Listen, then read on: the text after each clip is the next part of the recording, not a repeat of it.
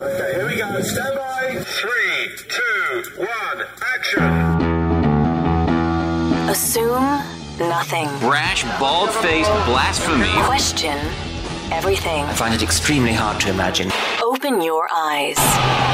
It is quite all right to be an atheist. The fastest growing group of people in the country has been measured as being those who have no belief or who are atheists. You don't have to be apologetic or quiet about it. Challenge the opposition You see religion on a hundred fronts losing the argument. and start thinking. This is the Thinking Atheist Worldwide. Not even close to October yet, Natalie already made a pumpkin pie. Oh, yeah. Uh, we're getting to my time of year. I love pumpkin. And you know, most of the stuff they offer that is pumpkin, I look, we know it's artificial flavors, right? It's not pumpkin necessarily, and they could offer it all year, but no, they hang on to it until about mid September, October, November, and then they take it, they tuck it away, and they tease me with it for nine months. But oh, it was so good. I just had a big old piece swimming in whipped cream, and so I've arrived tonight in a very good place. I'm so happy to be here. I appreciate you being a part of the show tonight. Thank you so much for listening. September has just been nuts in the best possible way. This coming weekend kicks off the Pennsylvania State Atheist Humanist Conference 2013, and that is a huge lineup, and that's going Friday through Sunday, and I'll be out there.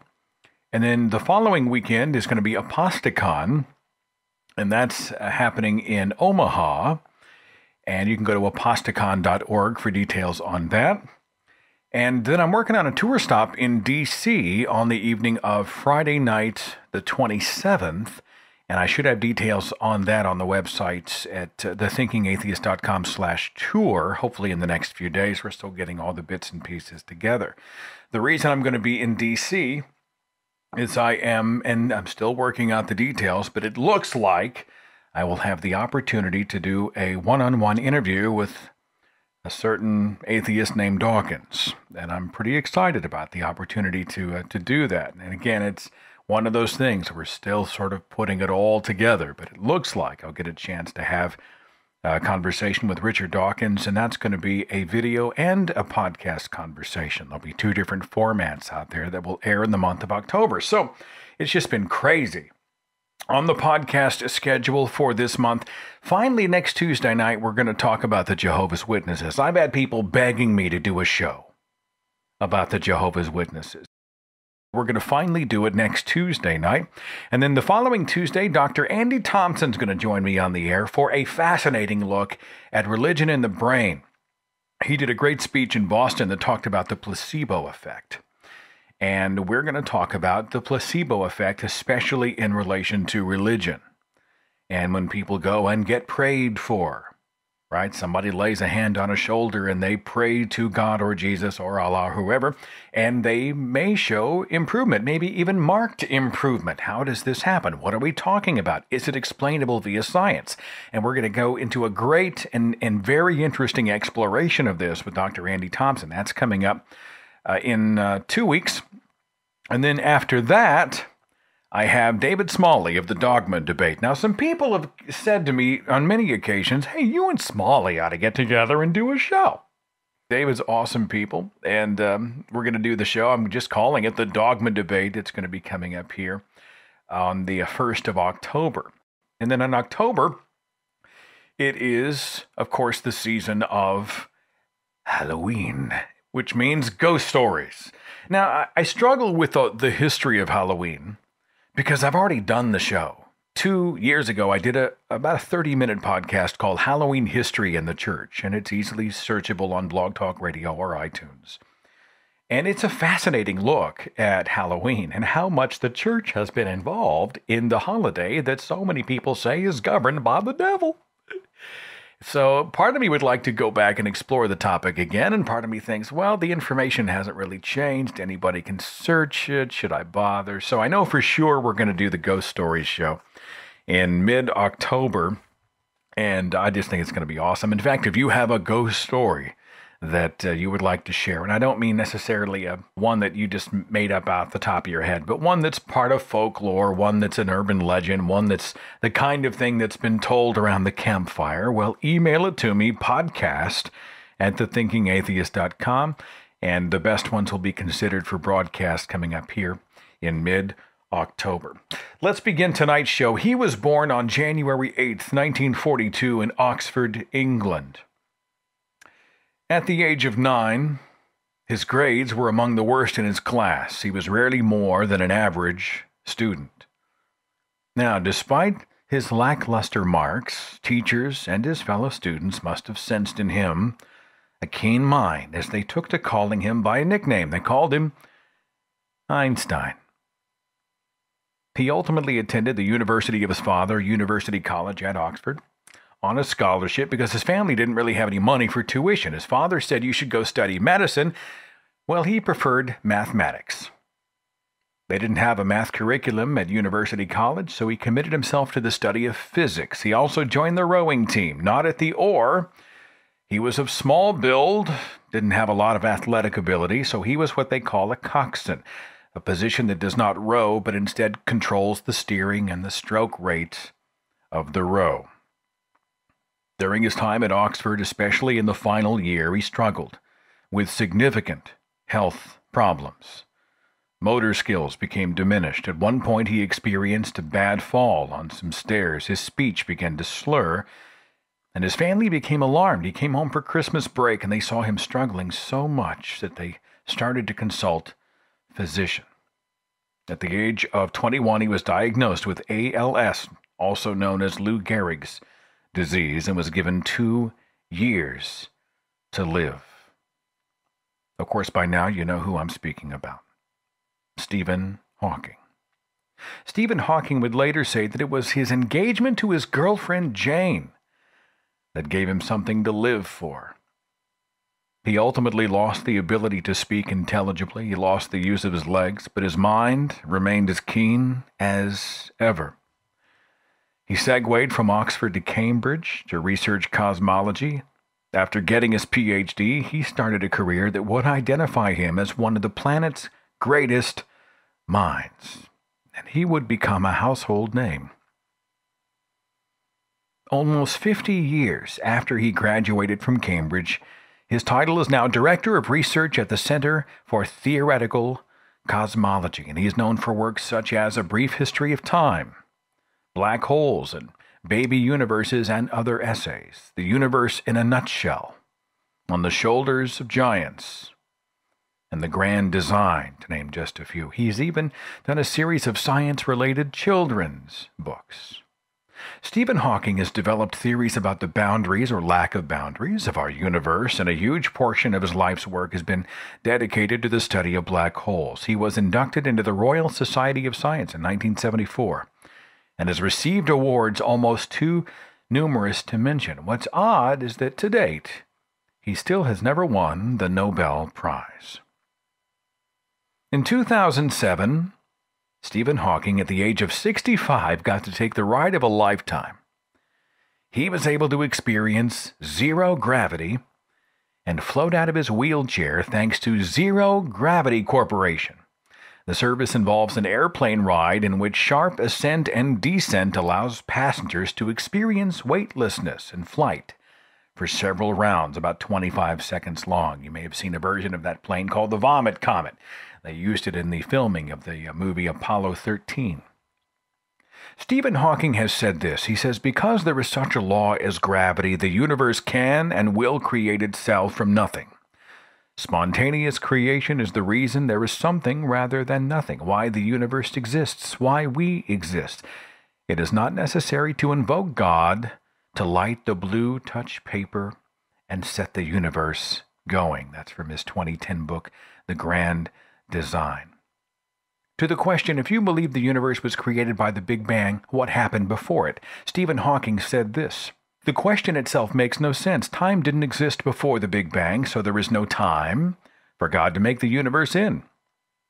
It's like asking for directions to the edge of the earth. The earth is a sphere, doesn't have an edge, so looking for it is a futile exercise. We are each free to believe what we want, And my view is that the simplest explanation is there is no God.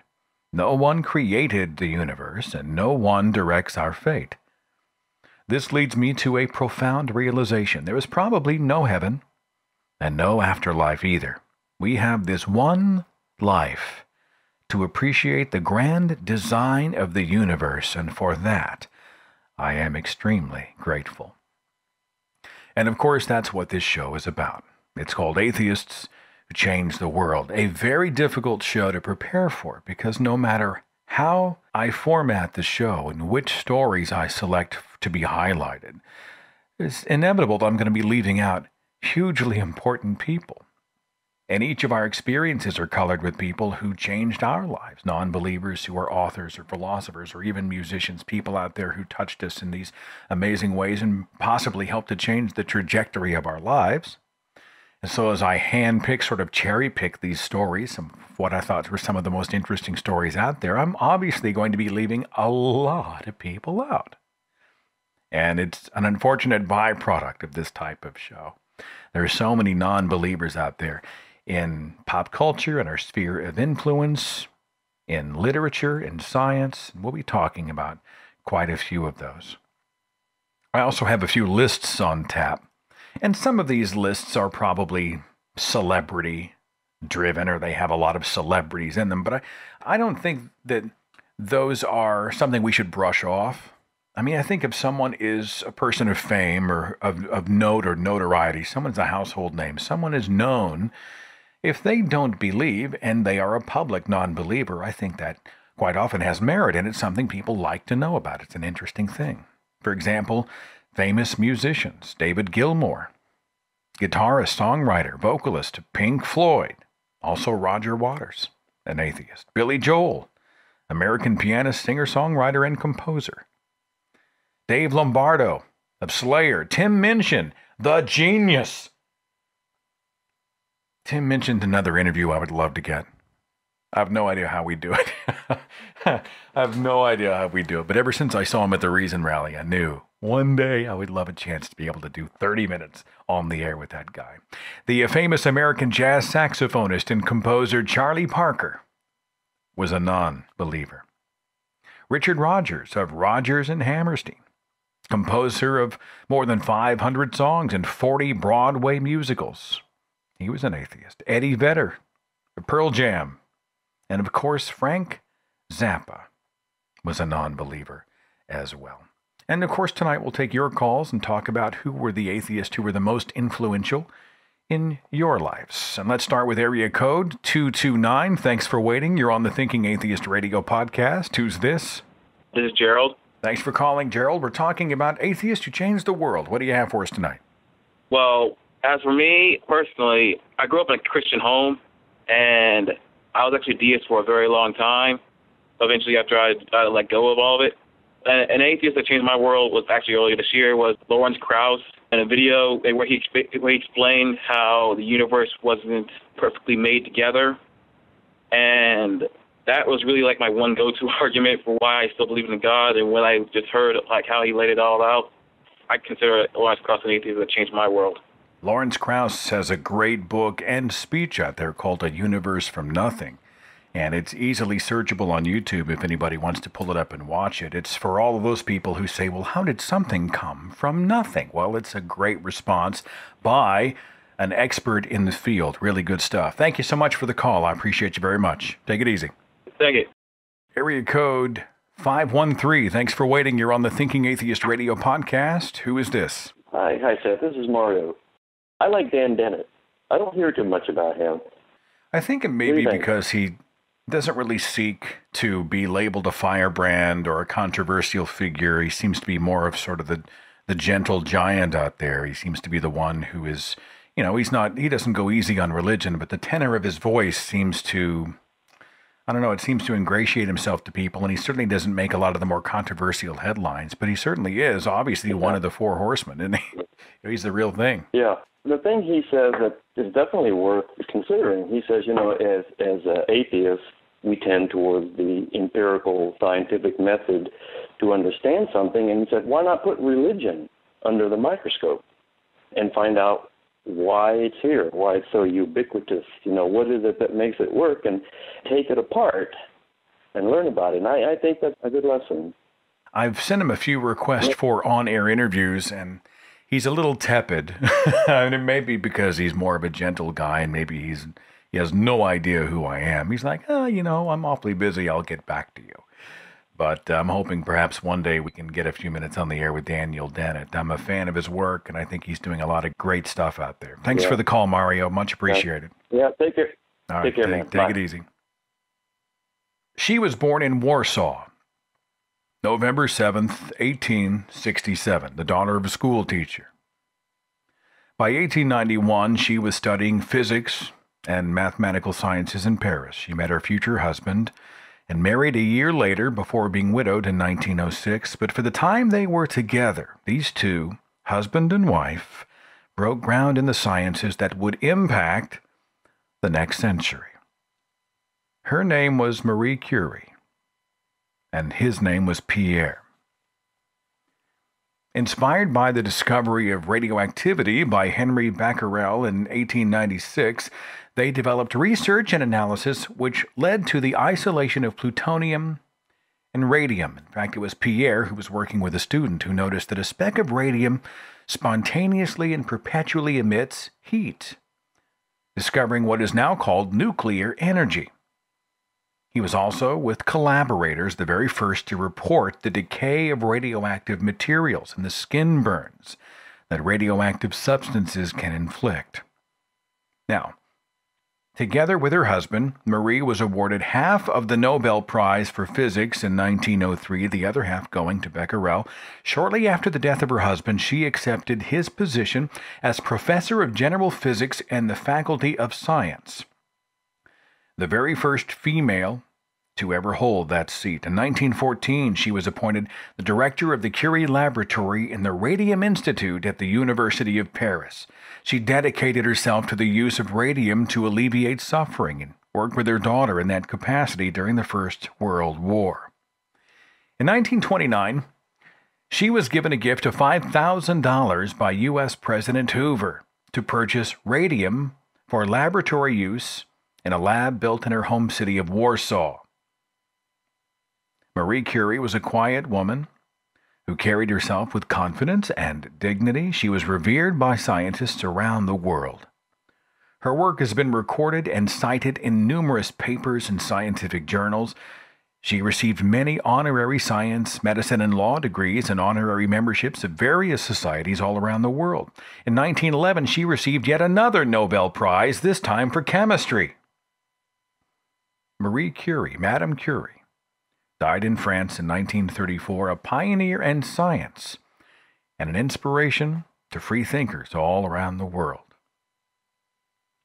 Really good stuff. It's funny how people whose work a hundred years ago continue to influence, continue to be spoken about all this time. Area code 919. You're on the Thinking Atheist Radio podcast. Who's this? This is Michael in North Carolina. I wanted to say Carl Sagan is probably the atheist that most changed my world. Just, you know, the way he described the universe as being, you know, something that's really incredible. And you don't, you don't really need religion to kind of have that sense of wonder about existence, really. It's often the supposed domain of the religious, the sense of awe when it comes to life and the world and the universe around us. You know, somehow the non believer is never supposed to feel that sort of, uh, you know, the goosebumps, the feeling of awe and amazement when we look around us, because after all, for us, life is void and meaningless.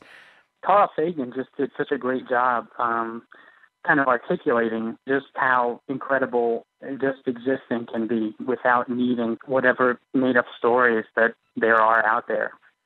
I think too. There's, I hate to be, I hate to be cliche, but there's a poetry to science. You know, when when the stories of science are told in a certain way, they become some of the most inspiring and fascinating stories ever. And there are some people who are involved in deep scientific work and they simply cannot articulate that. I mean, they're great with a textbook, they're great with a lecture, they're great with factoids, but as far as sort of taking you on a journey, eh, not so much. Sagan was one of those guys who you could listen to him speak on the order of hours because he excited you about all of the things he was speaking about. He sort of painted a three dimensional picture and and then was able to tell you why it's something we should be so in awe of and, and just you know celebrate the life we have and to be in awe of the universe it's just one of those you know cosmos the 1980 version of cosmos still stands up today 30 years later it's still amazing even today which is a testament to his work Oh yeah, absolutely. Talk about him being able to take someone on a journey. Just watch that series. It's on Netflix, and uh, you really get a sense of that. well i appreciate the call and a great contribution thanks for calling the show Great, thanks, Dad. all right Bye. Uh, not to uh, plug all my own stuff here, but if you want, I was sort of late to the Carl Sagan party. When I grew up, Carl Sagan was a punchline. We were true blue believers, and he was an evolutionist. And so we used to just blow him off. I mean, I watched Cosmos in pieces, but I didn't really watch it. I was a young kid. I wasn't really ready to, you know, receive the information and digest it and to genuinely be curious and ask more questions and to create a learning environment. I was more like, oh, that's not in the Bible. Well, let's just discard that. And um, it was only, you know, when I was 40 that I finally discovered Carl Sagan. And of course, I look back with shame on the way I had spoken about him and the way I had dismissed his work. And, I, I sort of grieve the time I lost, you know, the time that he was alive. But I wanted to do sort of a visual interpretation of Pale Blue Dot. And I think that was a couple of years ago, a year and a half ago, whatever. I released that to the YouTube page. And uh, so, if you have a few minutes, I know you may be familiar with Pale Blue Dot, but I felt like it was kind of ready for an, another visual angle.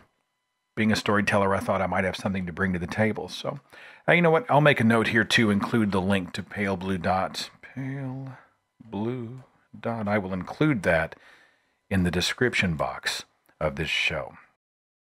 Brendan sent an email. Brendan out of North Carolina said, You know, when I think about how I was before I lost my faith, I can remember the misplaced animosity I held for the prominent atheists in today's society. I looked at the Matt Dillahunties, David Silvermans, and Bill Mahers with contempt. I despised who they were and what they stood for. Obviously, now that I no longer believe that a bearded man in a dress is using some cloud as a lazy boy, my opinion of these men has changed. But I think it's important to remember what these figures are doing. They are the faces of our cause. They are the ones who have to deal with hate of millions.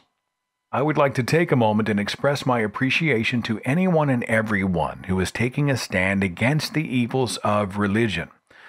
From the Antichrist Richard Dawkins, I'm sure he's been called that, by the way, to Dark Matter 2525, Hemant Mehta, Eugenie C. Scott, and Seth Andrews. You're very kind.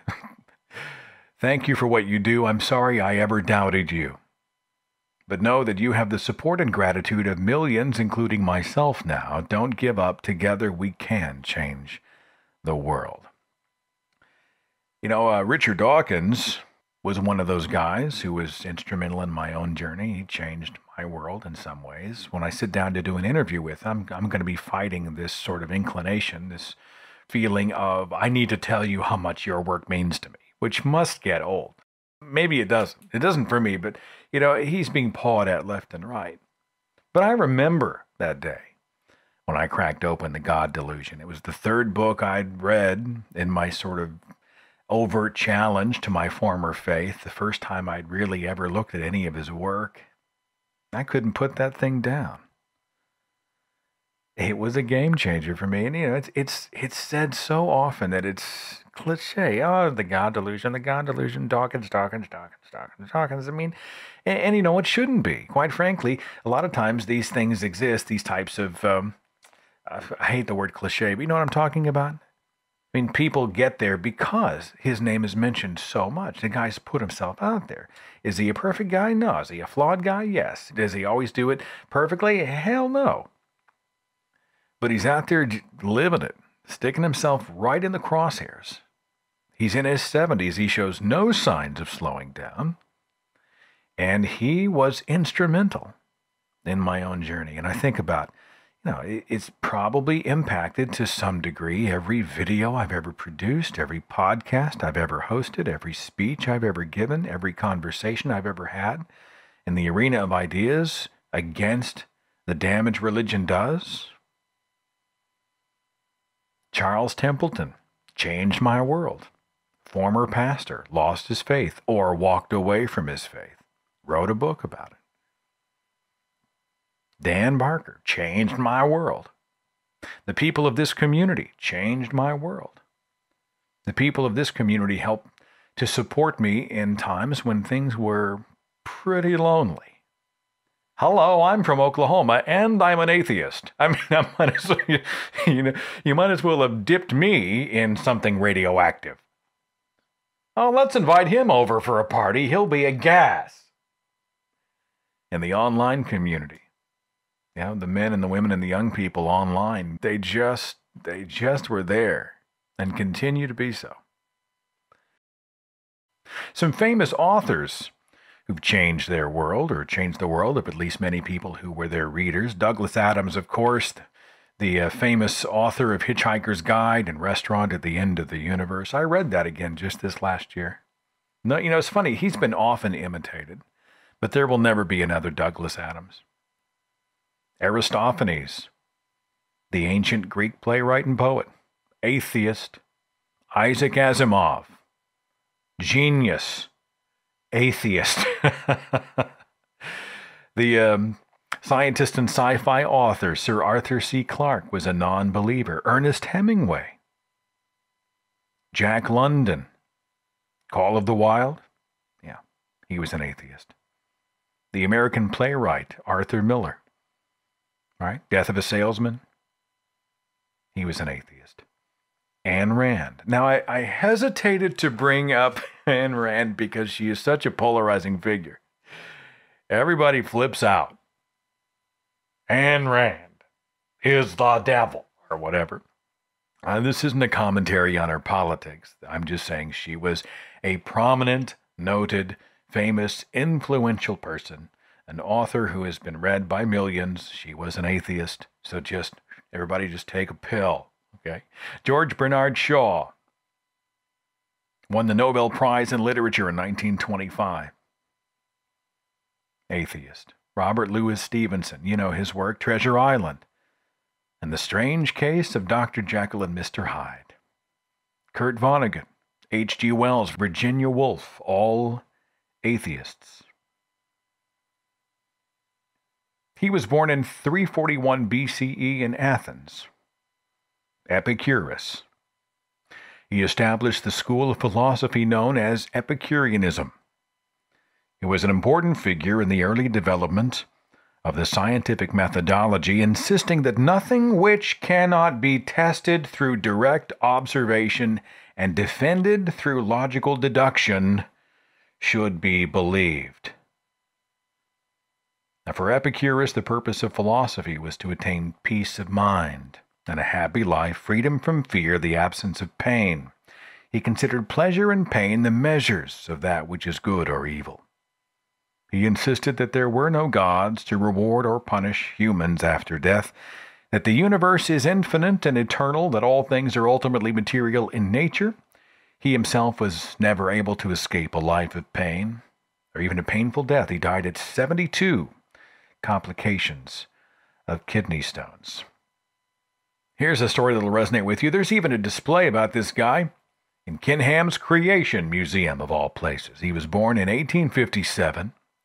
He would one day become a defense attorney in one of the most noted court cases in American history. His name was Clarence Darrow, an American lawyer and a leading member of the ACLU. He started out doing corporate work, but it was a case on the subject of evolution that would propel him to the limelight.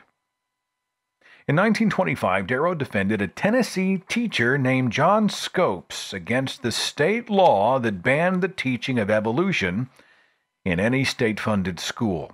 The case was the state of Tennessee versus John Thomas Scopes. It's now commonly referred to as the Scopes Monkey Trial. The proceedings took place in the small town of Dayton, Tennessee, and was the subject of intense national publicity. Clarence Darrow argued for the defense. The prosecutor was a guy named William Jennings Bryan, who was a three time presidential candidate.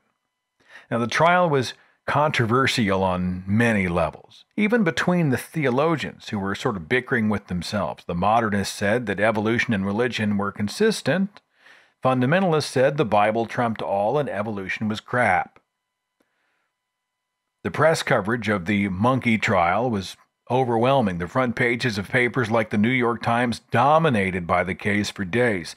More than 200 reporters from all over the country, and in fact, a few from London, were there in Dayton, Tennessee. 22 telegraphers set out 165,000 words a day on the trial. More words were transmitted to Britain about the Scopes trial than for any other event previously in America. American journalist H.L. Mencken was ruthless with the creationists. He lampooned them. He called their arguments theologic bilge. And his trial reports of the event are often credited for sort of helping to sway the opinion of the public about all this against creationism and helping to pave the way for, decades later, the National Defense Education Act of 1958 which stressed the importance of evolution as the unifying principle of biology. Now, after an eight day trial and a nine minute deliberation, Scopes was found guilty.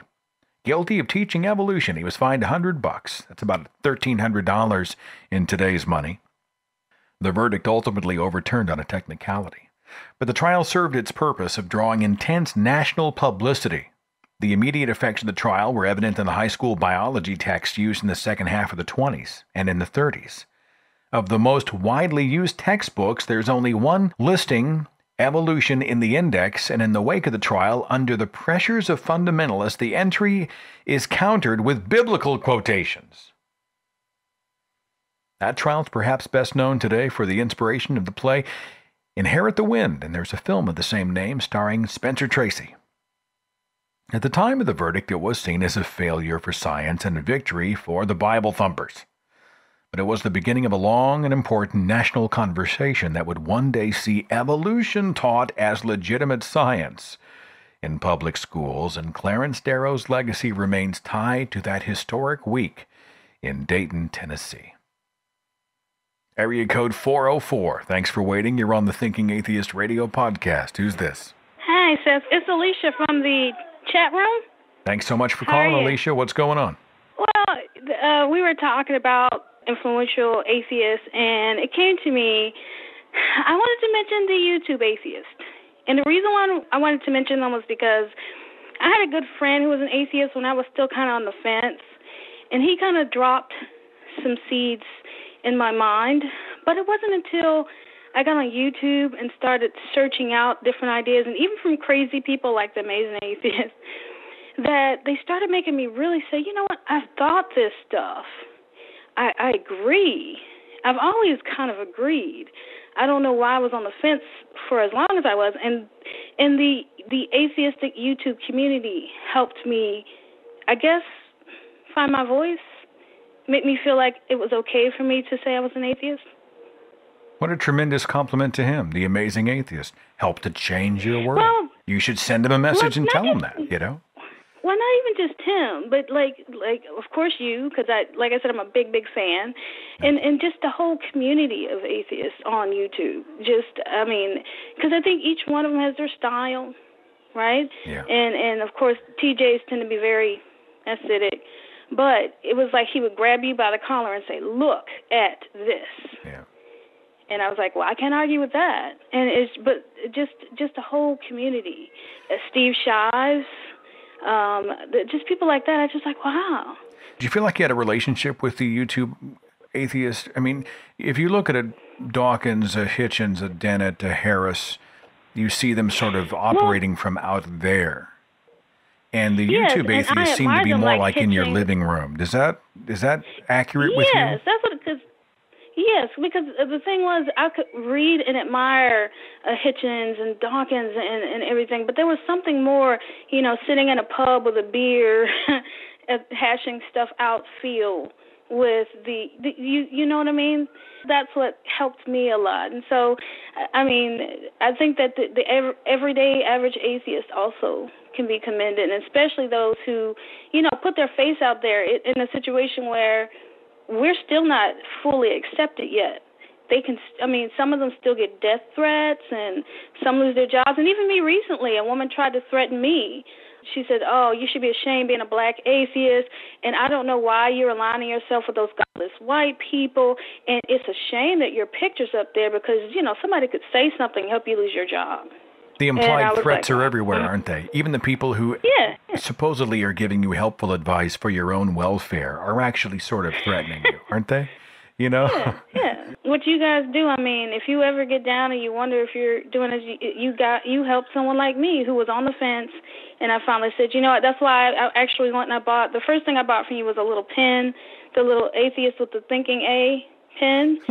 and I said I want to put it on everything I wear. I everything. did not set this up, people. I did not tell Alicia to call the show and shill for me on the air, but you are so sweet. Uh, and thanks for the words of encouragement. It really does mean a lot to me. And just remember, you're not by yourself. you. You. are not alone out there, okay? Thank you, thank you guys. All right, take it All easy. right, uh, bye. I did, did I do a show years ago just on the YouTube atheist? I know I've had several guests. Um, I've had evidence on Thunderfoot, Aron Ra, of course. He's been on several times. DPR Jones. Um, did I do a show with Dark Matter? I don't, you know, that might not be a, a bad idea for an upcoming show. The challenge is, is that over the years, some have become sort of dormant. Uh, some of the people who you and I'm one of those guys. I used to produce two, three videos a month, and now physically, mentally, creatively, I'm spent. And now I'm probably doing a video every six weeks. You know, I'm, I'm on a plane, I'm on the road, I'm producing podcasts, I'm speaking, I'm doing all these other things, and and and my home life has just gotten busier and crazier, and so I've sort of not, I'm not producing as much. And I'm seeing that's the case with some of the other folks as well. You know, Aaron, he's he's speaking every five minutes and some place all around the country, and uh, you know, he's I think he's writing a book and he's doing all these other things.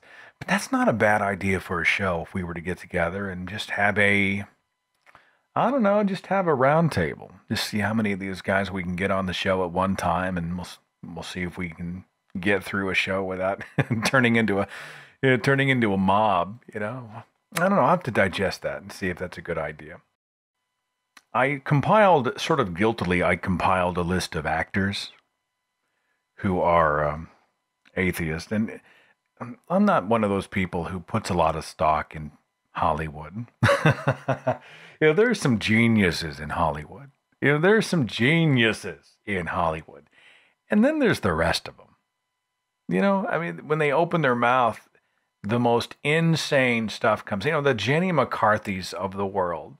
Uh, you know, the more they talk, the more you realize that, wow, this is a whole other planet.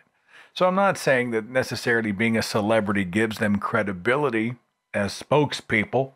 What I am saying, though, is that there are a lot more skeptics, agnostics, atheists in Hollywood than many people realize. Woody Allen, atheist. Robert Altman, the great director, is um, the director of Nashville. He directed the film MASH and much more. Atheist. Kevin Bacon. Paul Bettany, the actor. Jim Broadbent. I just saw him in Gangs of New York. He played Boss Tweed. Richard Burton, the great Welsh actor, atheist. Director James Cameron of Titanic and Terminator. He's working on uh, the sequels to uh, Avatar, isn't he? Guillermo del Toro, atheist. Marlene Dietrich, Peter Fonda, Ricky Gervais, Paul Giamatti, Eva Green, Werner Herzog, Penn Jillette, and Teller, both atheists. Larry King, Keira Knightley, Bruce Lee. Bruce Lee was an atheist. Now I, I struggle with this one because, as I understand it, he was into I don't know. He was always talking in this kind of nebulous. I don't know. He didn't talk about chi, but you know, he was always kind of talking in that mystical way. He was apparently asking 72 if he believed in God, and he said, to be perfectly frank, I do not. But he may have believed in something else. I don't know. Somebody who's more educated on Bruce Lee can tell me, okay? Seth MacFarlane, atheist. Bill Maher, of course. John Malkovich. Sir Ian McKellen, Oh, yeah, Gandalf is an atheist. It's a beautiful thing. You knew he was wise. Julianne Moore, Simon Pegg of Shaun of the Dead, is an atheist. Scotty in the new Star Trek films, Brad Pitt, Gene Roddenberry, the great bird of the galaxy, creator of Star Trek, atheist. You know, it's funny. I remember I was, I'm kind of a geek. And when I was a believer, I was reading um, the book Star Trek Memories by, I said, Movie Memories? I've read both of them by Shatner. And he was talking about Gene Roddenberry writing the very first Star Trek film, Star Trek the Motion Picture. And the, the very first picture was not what ended up on screen. It was actually a, a sort of a, a referendum on God. His first script was very much, you know, God was the bad guy kind of deal, and it was rejected by the studios. But I was I was reading it, thinking, oh, geez, man, you know, poor Gene, he's so deceived. He's so deceived. Shatner's agreeing with him too. These guys are they're so talented. If only they believed in Jesus. This is how naive I am. And here I am on the other side of the looking glass, going, "Man, Gene Roddenberry, you awesome." Ray Romano, Adam Savage, and Jamie Hyneman of the MythBusters, both atheists. Andy Serkis, Gollum, atheist. Steven Soderbergh, Emma Thompson, Don Siegel, director of Dirty Harry. There's a whole list of these people. Hugh Laurie of House, atheist. They are out there. And they are becoming more and more vocal all the time. And I think they give courage to other people. The more they open their mouth, the more they speak, the more they talk, the more they share, the more they create conversation, the more it emboldens other people. I saw a great poster out there that said, I don't post on Facebook. This is a Facebook post. I don't post on Facebook to change your mind. I post on Facebook to remind other people that there are others out there who believe like they do. Something along those lines. And I think that emboldens people. They called him the Woz, or Woz, the computer engineer. Named Steve Wozniak, co founded a little company you might have heard of called Apple. Steve Wozniak and Steve Jobs met in 1970. They were working on a mainframe computer together and got to know each other. They raised $1,300 between them. They assembled prototype computers in Steve Jobs' garage. And on April 1st, 1976, they formed Apple Computers. And the Apple One sold for $666.66. 666.66. Wozniak later said he didn't price it because it was the mark of the beast. He didn't have any idea what the mark of the beast was. He said he came up with that number because he liked repeating digits. I guess it was easy. After the success of Apple I, Wozniak designed the Apple II computer. It was the first personal computer that had the ability to display color graphics basic programming language built into the machine. It became one of the first highly successful mass produced personal computers, and I'm sad to say I'm old enough to remember when it was new.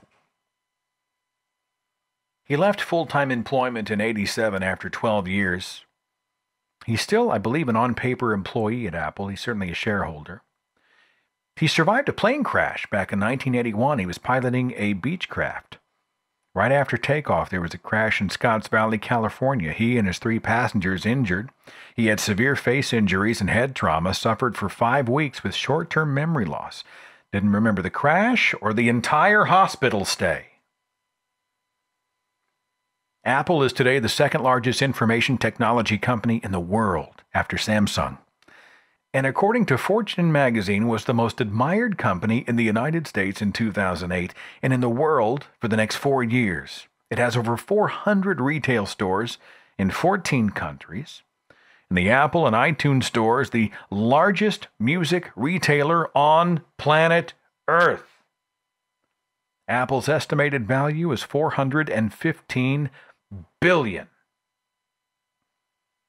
Steve Wozniak has used his success for philanthropy, financially supporting various educational projects, and since he left Apple, he's even taught computer classes to kids and teachers. He founded other ventures to produce things like the first universal remote and wireless GPS.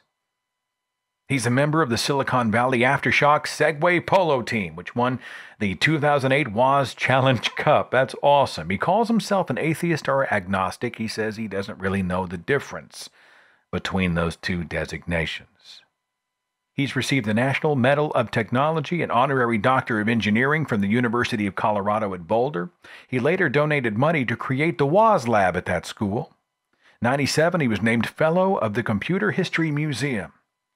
He was a key contributor to the Children's Discovery Museum of San Jose. He's been inducted into the National Inventors Hall of Fame, and in 2011, the American Humanist Association awarded him the Isaac Asimov Science Award. Steve Wozniak, a non believer in God. Area code 937. Thanks for waiting. You're on the Thinking Atheist Radio podcast. Who's this? Hey, Seth, this is Brian from Marysville. Thanks for calling, Brian. What do you have for us today? Well, I wanted to add somebody to the list, a great American author named H.P. Lovecraft, staunch atheist. I didn't even know that till a couple of years ago, but it was one of those things where you're a big fan for a long time, and then you find out later, and you're like, yes, he's one of us. One of my favorite atheists and a great author. You a fan of his work, are you? Oh yeah, yeah. A lot of people are. You mentioned uh, Del Toro earlier. Earlier, he's a huge Lovecraft fan. Uh, it's a big influence on a lot of his work as well. He, you know, it's funny. What is the, um, God, what is the, the work that comes to mind? I, I. Cthulhu, H.P. Yes, yes. I don't know why I couldn't think of it. I can't, you know, I'm thinking like Invisible Pink Unicorn, right? Because I always put them all together. yeah. You know, the, well, the, you know, if if I was religious, if I could pick any god I wanted, I I think I would worship Cthulhu. I don't know why, because he would probably just eat me. He's but, just badass. You know, Look at what a great, you know, Yeah. what a great way to go. You know, that's a man's way out right there. yeah. Uh, and uh, by the way, Bruce Lee, I think, was mostly a Taoist. Is that it? So he believed that what the, there, there was always the force of good and evil, and there had to be equilibrium, kind of thing. Not even that. It's very non-dogmatic, sort of, you know, just sort of living in harmony with everything and and inner peace and sort of more emphasis on your own development rather than materialistic wealth and things. I've read the Tao Te Ching. Uh, I've I've known people who knew Bruce Lee personally, but he died when I was like a year old. But it's sort of it's not really a religion religion. It's just sort of a philosophy of like i say living in peace and, and harmony and balance. There's it, it's nice. It's not real woo woo like a lot of that stuff but uh i think that's mostly what he was into. Cool. Well, I appreciate it. Uh, thanks for the call and thanks for the reminder about Cthulhu. I'm going to pull up that work here very quickly and sort of give everybody a primer because it's awesome. And if there was a deity, oh yeah as long as we had a safe place to watch from afar, that's what we would do. yeah yes and that that would not be a bad idea for like a halloween show or something maybe Oh, I love it. I love because i'm also the atheist gun control guy Let's see. see uh, remember i called and I remember. Everybody's giving me shit Yeah. about guns. Yeah, just, that's a whole other. That's another show. Let me make a note about that. uh, thanks for the I call, my friend. On, I'm All sorry. right. Go ahead. Go ahead. Oh, uh, I also I think I got you started on that first history of Halloween special you did a couple of years ago.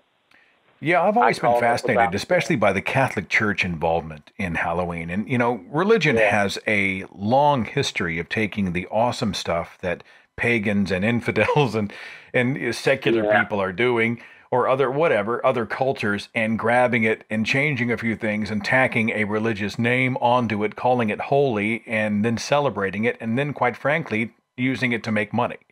And, uh, you know, we look at Christmas and Easter and all these other things, and I find the history of Halloween to be fascinating. So, again, I'll put the link to that show in the description box of this video. Thanks for the call, my friend, and you take care. You too. Bye. All right. Cthulhu is a fictional entity, a cosmic being who first appeared in uh, Lovecraft's story called The Call of Cthulhu. And this was back in the uh, 20s. And there are versions of it, different spellings of it. And uh, it is a monster of vaguely anthropoid outline with an octopus like head whose face is a mass of feelers, scaly, rubbery looking body, prodigious claws on hind and forefeet, and long, narrow wings. He's been described as a mix between a giant human, an octopus, and a dragon. Hundreds of meters tall, with human looking arms and legs, and a pair of rudimentary wings on its back. Just awesome. Now, if you were going to be something for Halloween, of course, you'd have to explain it to most everybody here in Oklahoma. You know, Cthulhu. And they were like, what? What's that? Might be a good conversation piece. I don't know. Might be something worth doing. Did you know that um, many of the, I, you know what? You don't need to be told that science is loaded with non believers and public figures everywhere. Francis Crick, Thomas Edison, Sigmund Freud, Alfred Nobel, Oppenheimer, Carl Sagan, of course, we talked about him. Other people just in pop culture, people who uh, have become household names in one way or another. Francis Bacon. Berke Breathed, guy who created Bloom County and Outland. Pablo Picasso. Pat Tillman, former NFL strong safety for the Cardinals, killed in the mountains of Afghanistan by friendly fire. David Feherty, the golf commentator, of course, George Carlin. Mark Zuckerberg over at Facebook is an atheist. Larry Flynt of Larry Flynt Publications and Hustler and all that is an atheist. Vincent van Gogh, the famous artist, post impressionist painter, lost the ear, atheist. It's interesting to hear the names of these people, the people who so often we reference in our everyday lives, to find out that they are indeed non believers in God. Area code 325. You're on the Thinking Atheist radio podcast. Who's this? This is Mickey, Seth. Thanks for calling the show, Mickey. What's like- going on? Oh well, you know, you you mentioned some of the atheists like Penn Jillette, and I was thinking he was kind of a turning point to me. But I often thought, you know, he's maybe a little bit more in your face than some others.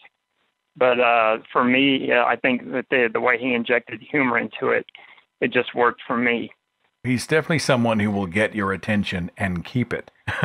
you know? Definitely. And uh, I remember the first time I heard him speak out loud as an atheist. You know, he was just challenging, fearlessly challenging God. I was, it made me uncomfortable. And you know, looking back, that was probably the best thing that could have happened to me. Shake my tree a little bit, You know make what? me uncomfortable. You know. I think so. I think he made me uncomfortable. It made me really question what I was believing. Uh, I I think I've been an atheist just a little over a couple of years. And sorry, I'm a little nervous talking now. Oh, you're doing great. anyway, You're uh, doing great. well, thank you. Um, you know, just and, and not not trying to stroke your ego here, but uh, when I when I listened to your book, I thought, you know what, this for most people, I thought the way that you delivered it, uh, just just your approach and the way you were telling it, and how you came to atheism yourself, was very similar how I came to it. As a matter of fact, I recommended your book to my sister, who I believe recently uh, uh, listened to it and kind of got her thinking. And I think that probably worked for her better than Penn Jillette would have. But, so she was a believer, and she was curious. um, just no, um, no. She um, she said she stopped believing probably much longer, much before I did, probably about a decade. But she's still kind of in a in a spiritual kind of uh thing. She wants to believe in something spiritual, which is fine. But for me, I mean, I'm I'm quite comfortable calling myself an atheist, just so it, I think it clears it up for some people. It, they can put their mind around that. so you know if that if that's easier for you to get your mind around it, then by all means, I'm an atheist. Well, you know, it's it's pretty direct in its challenge of religion, but I think it approaches the subject with compassion, with understanding of people who were raised in devoutly religious cultures. And I've had a few people who pick it up and they just won't. I mean, they'll get three chapters in and they'll put it right down. And I've had other people who've, you know, they haven't felt attacked, and so they just kept on reading. And maybe in a few years, when they get to a point where the questions come, maybe it will give them courage to keep going and continue to ask those questions. I certainly hope so. I think so. And, and you know, I must say, uh, when you opened up and uh, you were talking about your relationship with your parents and how the last thing in the world you wanted to do was to hurt them. And again, you talk about the compassion. I thought it was very compassionate there, and uh, and I feel the same way. Which I, I haven't come out to my parents. I'm not sure if I see the value in that at this point. I mean, they're pretty elderly, so I'm just. Uh, I mean, we live in different parts of the world, and uh, I totally get it. But, I mean, I really, you know, it's Yeah. because you're compassionate and care that you have those types of discussions with yourself. You know, what's the cost benefit here? Will it create more harm than good? Will it really change anything? Is it important for my parents in the winter of their lives to know all about this? And if it's not important, you've got other fish to fry, other battles to fight. I totally respect it, man. I really do. but my sister and, and the one that uh, is a little more on the spiritual side, it's kind of funny because it's, it's when when she kind of revealed that to me that she had rejected Christianity. I just wanted to tell her everything at once. I wanted to tell her about, you know, Penn Jillette and off of Penn I went to Richard Dawkins. And then there's like everything I could get my hands on by uh, Christopher Hitchens. And I just wanted to hit her with everything at once. And I, I kind of had to kind of pull my own reins back and say, okay, let me take this easy. Okay, a little at a time. So, Pace uh, yourself. like I Pace said, turn her on man. to your book. exactly, exactly. And then I, I, I tipped her off to watch uh, Bill Maher's uh, uh, religion, religion. Help me with the name there. I always Religulous, mis- yeah, yeah. There you go, film. And so I said, hey, you got to watch this. It's right there on Netflix. Check it out. I've got it in my um, queue right now. I don't, I've seen it like three, four times. I still have it in my instant queue because from time to time I'll just fire it up and just watch part of it. oh, it's And uh, you know, fantastic. he he does a great job in that film of drawing a big circle around the insanity of it. You know, it just really. And I think there are a few inaccuracies in there. He was doing some references to Jesus and Horus and a few other things that are kind of zeitgeist-ish. But uh, overall, it's a tremendously solid film. Religulous, Bill Maher. If anyone gets a chance and hasn't seen it, it's certainly worth your time. Thanks so much for the kind words and the Definitely. encouragement, my friend. And thanks for listening to the show. You're oh, much you betcha. appreciated. Thank you, Seth. Take it easy. Bye bye. There's another show I thought about doing. I'm not religious, but I am spiritual. But I didn't think that that topic would carry a 60 to 90 minute podcast. You know, you'll probably get a couple of sides on it. One person says, yes, you can be spiritual without being religious, and the other says it's all a bunch of crap, and then you're not going to really cover a whole lot of new ground. I just didn't think a whole show would support it but it you know it does make for an interesting conversation and i hear it quite a bit. I'm not a religious person but i, I am spiritual well defined spiritual. Uh, do you mean like a supernatural membrane a consciousness some kind of an energy field those types of things? Or do you see spiritual as more of a human condition when you feel awe and wonder and all if it's is it an emotion based thing is it is it about hope and comfort? Uh, you know, how do you define that? And everybody seems to be defining it a little bit differently. It's hugely complex. Ayaan Hirsi Ali, I remember reading her book Infidel and just being fascinated by her story. A huge critic of Islam, she wrote uh, the screenplay for a movie directed by Theo Van Gogh called Submission, and that film led to the assassination of Van Gogh in the streets and death threats against Ayaan Hirsi Ali and probably death threats for the rest of her life. She's spoken all around the world and inspires a great many people in her fight for not just women's rights, but human rights in the face of radical Islam. Richard Branson of Virgin Media, more than 350 companies under that umbrella, heavily involved in humanitarian projects. He holds the uh, world records in long distance ballooning. And he said in one of his autobiography segments, he said this I do not believe in God. Of course, we mentioned Richard Dawkins, Sam Harris, American writer and neuroscientist. He's written the book The End of Faith, Religion, Terror, and the Future of Reason, and Letter to a Christian Nation. He says this Atheism is not a philosophy, it's not even a view of the world, it's simply a refusal to deny the obvious. Of course, the great Christopher Hitchens, who died in 2011 writer, public speaker, and amazing debater, columnist at Vanity Fair and Slate, and wrote God is Not Great, Portable Atheist, and Letter to a Young Contrarian. Hitchens said this The only position that leaves me with no cognitive dissonance is atheism. It's not a creed. Death is certain, replacing both the siren song of paradise and the dread of hell. Life on this earth, with all of its mystery and beauty and pain, is then to be lived far more intensely. We stumble and get up. We are sad, confident, insecure, feel loneliness and joy and love. There is nothing more, but I want nothing more. Taslima Nasreen, the atheist Bengali Bangladeshi doctor and poet and writer and feminist. She lives in India in exile, death threats from Islamic fundamentalists from all over the world. She's written almost 30 books, and her work highlights the treatment of women, the mistreatment of women in Islamic countries. Atheist. James Randi, the amazing Randi. Atheist. The author Salman Rushdie. He's written 15 books, including the Satanic Verses, which resulted in the Iranian Ayatollah Khomeini to call for his death for blasphemy against Islam. He still lives, largely in hiding. Mark Twain, atheist. Andrew Carnegie. Richard Feynman, the scientist, contributed so much to the development of quantum mechanics. The theory of quantum electrodynamics, QED. In fact, he won the Nobel Prize for it in 1965. Noam Chomsky, American philosopher and writer. Peter Higgs, you know the name from the Higgs boson, theoretical physicist and emeritus professor at the University of Edinburgh in Scotland. The late Stephen Jay Gould, paleontologist, evolutionary biologist, and science historian. He used to talk quite often about punctuated equilibrium. Part of the evolutionary lexicon, he actually sort of contributed that to the conversation. So many others. One more call quickly before we wrap up. 330, you're on the Thinking Atheist Radio podcast. Who's this? Hey, Seth, this is Craig. How you doing? I'm well, Craig. Thanks for calling. What's going on tonight? Well, I wanted to give a shout out to uh, the people associated with American Atheists.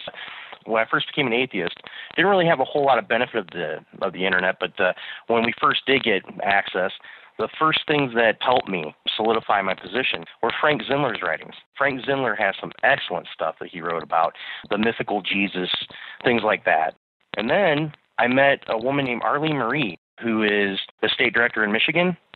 She made me into the activist that I became. Um, I remember contacting her about a road sign that uh, had a religious message right after 9 11 2001. And she told me, okay, what are you going to do about it? So I thought about it. I ended up uh, writing the Michigan Department of Transportation. They took the sign down the next day, and I told her about it, and I met her, and she really solidified my uh, activism and uh, the whole group there. Just a bunch of people that have been longtime activists. Changed your world. Actually, changed how you act and react and perceive, and and sort of altered in some ways the trajectory of your life. How you approach these things from now on is different because of that one encounter. Well, thanks for the contribution tonight. Thanks for calling the show. Thanks, Seth, for having me. All right. Take care of yourself. I'm thinking he, somebody in the chat room just said Neil deGrasse Tyson. Somebody else said, I think Brian Cox, Maryam Namazie, all these names I know I've missed tonight.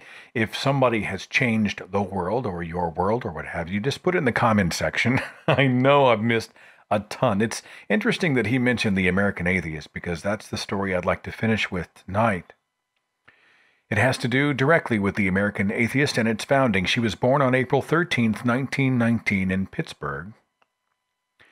And as a baby, she was baptized into the Presbyterian Church. Her name was Madalyn Murray O'Hair, eventually. It was in her teens when she read the Bible through, and it was shortly after that that she embraced atheism. She would become one of the most polarizing and controversial figures in recent history. Married to a guy named John Henry Roths in 1941. She was Madalyn Roths. And she left during the Second World War to be in the Women's Army Corps. It was there that she fell in love with an officer in the military, a guy named William Murray. She divorced her husband, but Murray was a devout Catholic. He would not divorce his wife, but she took his name anyway. She started to call herself Madalyn Murray.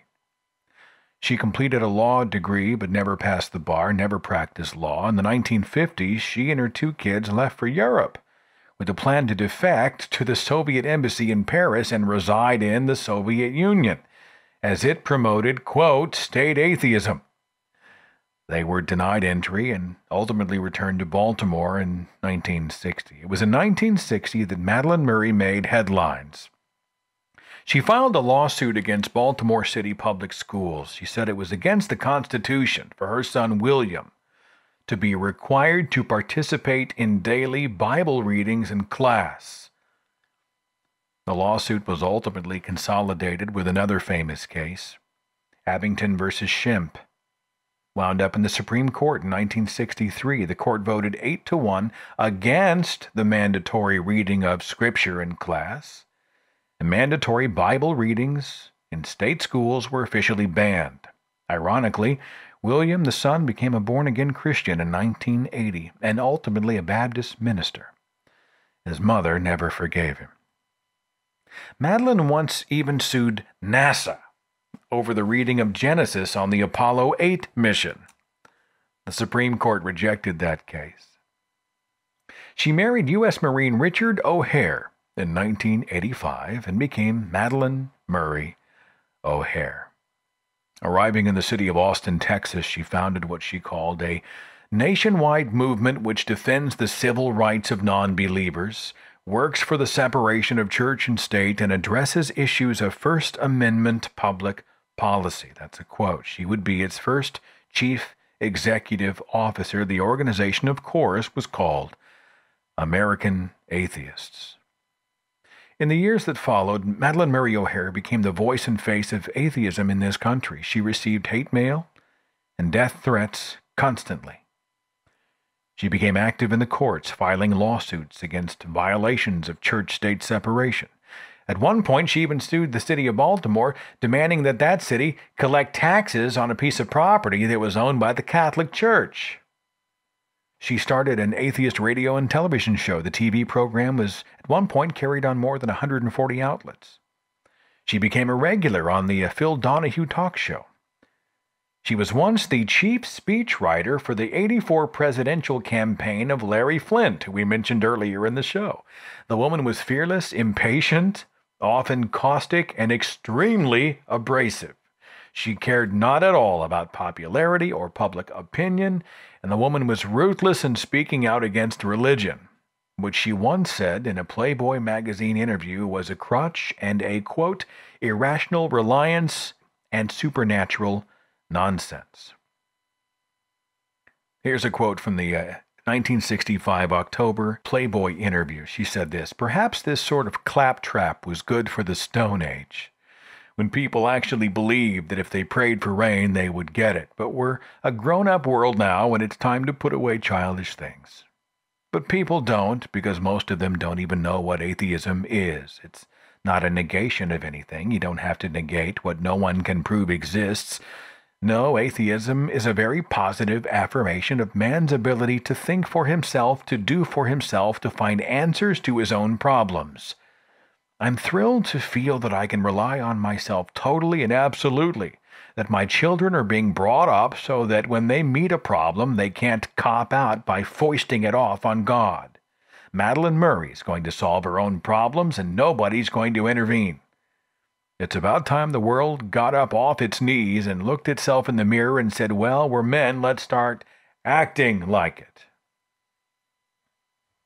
She's quoted to have said this to the religious quote, I'll tell you what you did with atheists for about 1500 years. You outlawed them from the universities or any teaching careers, besmirched their reputations, banned or burned their books or their writings of any kind, drove them into exile, humiliated them, seized their properties, arrested them for blasphemy. You dehumanized them with beatings and exquisite torture, gouged out their eyes, slit their tongues, stretched, crushed, or broke their limbs, tore off their breasts if they were women, crushed their scrotums if they were men, imprisoned them, stabbed them, disemboweled them, hanged them, burnt them alive, and you have nerve enough to complain to me that I laugh at you. Yeah, that was Madalyn Murray O'Hair for sure. I myself, you know, struggled with Madalyn Murray O'Hair. You know, I see some of the interviews she's conducted and I think, man, you know, that's just so foreign to my particular style. We'll come back to that. On the 27th of August 1995, she, her son John, and her granddaughter Robin disappeared. On the door of the American Atheist office, which was locked, by the way, there was a typewritten note which apparently finished with John's signature. And the note said this The Murray O'Hair family has been called out of town on an emergency basis. We do not know how long we will be gone at the time of the writing of this memo. Unquote. At the O'Hair home, no travel arrangements had been made. There was still food on the table. Madalyn's diabetes medication was right there, had been left behind. The dogs were at the house with no one to care for them. A few days later, via telephone, the trio called and claimed that they were on business in San Antonio. Shortly after that, John took delivery of $500,000 worth of gold coins from a jeweler in San Francisco. I guess the coins belonged to them. For about a month, the employees at American Atheist received phone calls, random calls from Robin and John, no explanation given. The employees said their voices sounded distant and odd and strained, disturbed. After December 28, 1995, no other calls were made and no other communication came. The public fascination was at a frenzy. Many people speculated that Madalyn Murray O'Hair had just simply run off with the money. She'd absconded with the kids to some hidden destination far away. It took one year for Madalyn's son, William, to file a missing persons report. He said, well, there was so little evidence of foul play. All three were eventually declared legally dead. It came to light that David Roland Waters was a man who had worked for the organization American Atheist. He'd also had previous conviction for violent crimes. He'd actually stolen money from American Atheist before, like 50 grand. That prompted Madalyn Murray O'Hair to write about him specifically in the members only section of the American Atheist newsletter and she roasted him. She revealed his previous crimes, and she talked openly about an incident that happened in 1977 where this guy Waters allegedly beat his mom and urinated on her. Waters' girlfriend later said the article so enraged him that he fantasized about torturing Madalyn Murray O'Hair in gruesome ways. Police eventually concluded that David Roland Waters and accomplices had kidnapped the three, had forced him to withdraw the money, had gone on huge shopping sprees with that money, and then they ultimately murdered and dismembered them. In January of 2001, Waters finally led police to the bodies on a ranch in Texas, and what the police found was horrifying all three corpses cut into dozens of pieces with a saw. Identification had to be made with dental records and DNA. Waters was given 20 years in prison. He only got 20 years in prison for kidnapping, robbery, and murder, and he was told to pay back the stolen money. Of course, he was worth nothing. He died of lung cancer in 2003. Even today. Opinions are all over the map on Madalyn Murray O'Hair. Was she a poisonous, angry malcontent who'd rather burn a bridge than build it? Or was she a fearless crusader for the separation of church and state in a hugely religious time and culture?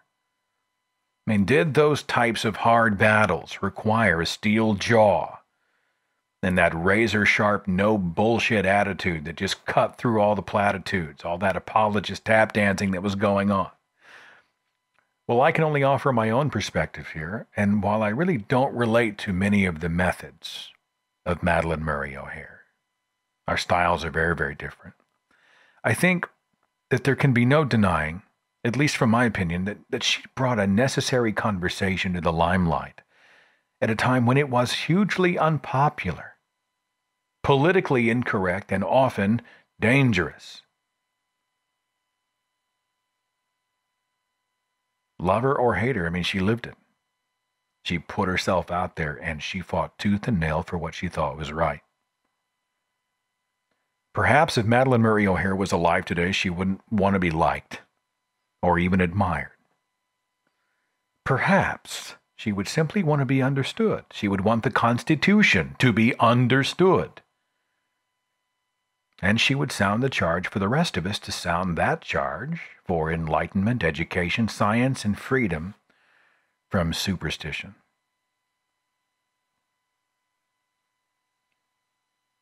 She once said in the Petition for Relief, Murray versus Curlett, 1959, quote, Your petitioners are atheists and they define their lifestyle as follows An atheist loves himself and his fellow man instead of a God.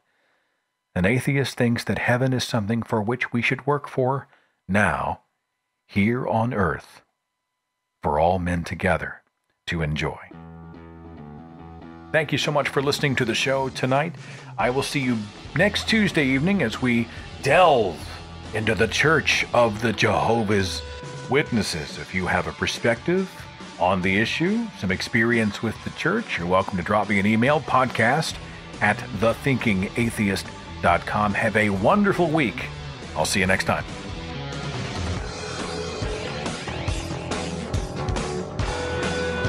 Follow The Thinking Atheist on Facebook and Twitter. Watch dozens of original videos on the Thinking Atheist YouTube channel. And visit our website for resources, links, contact information, the editor's blog, and more. TheThinkingAtheist.com.